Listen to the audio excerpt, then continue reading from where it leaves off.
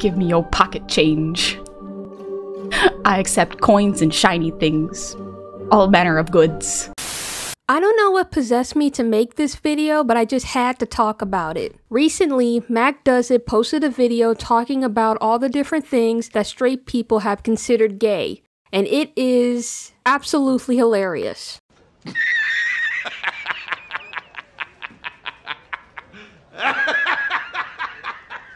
It is mind boggling that the straights actually considered these things as gay. Like, are they okay? What is going on? Seriously, what the fuck are you doing? I'm not gonna go over all the things he mentioned in the video, but I do wanna highlight the ones that genuinely made me laugh out loud. I mean, you got to see it to believe it. This stuff is insane.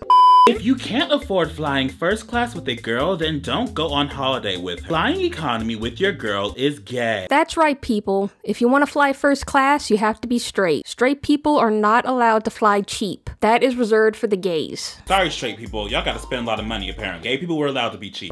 As a man, why are you so happy to become a father? Is it gay to have children? So if you're a man and want children, then you must be gay. Does that mean every married woman who is in a heterosexual relationship with children are married to a gay man? I guess so. If the straights say it, then it must be true. So all of you men out there who are desperate to have children, turns out you're gay.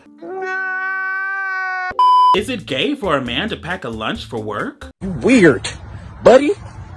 You're weird! So apparently packing lunches are only reserved for gay people. Real men don't pack their lunches. They go and buy takeout like everybody else. It's what God intended. But what if their girlfriend or wife packs the lunch? Is that an exception to the rule or no?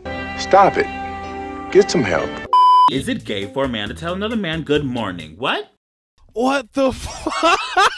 You know what this reminds me of? It reminds me of that one scene in the movie mid 90s. The main character Sunburn is gifted a skateboard by his friend Ray, and he mentions that saying thank you was gay.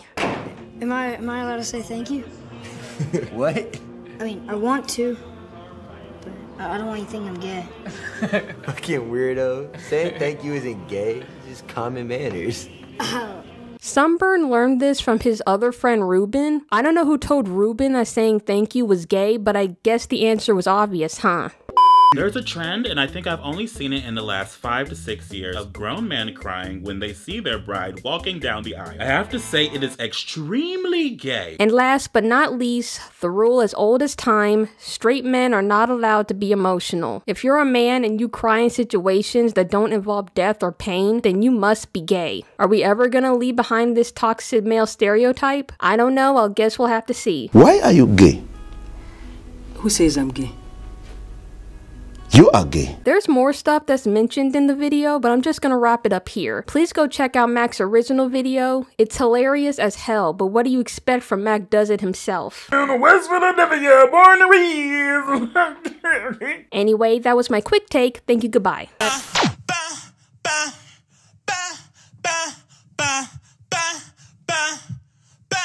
I like hair to my hair to my yeah. To this bad nigga make it go fast. Fuck the fame, I like what's the man and he go around came to the one mad, who was the better one in the trash. Doing the better than one in the mat, doing the better than one in the mat, one the better than one in the movie, a better than one in the school, a better than one in the movie, a better than one in the two. You got beef with me, one on the streets.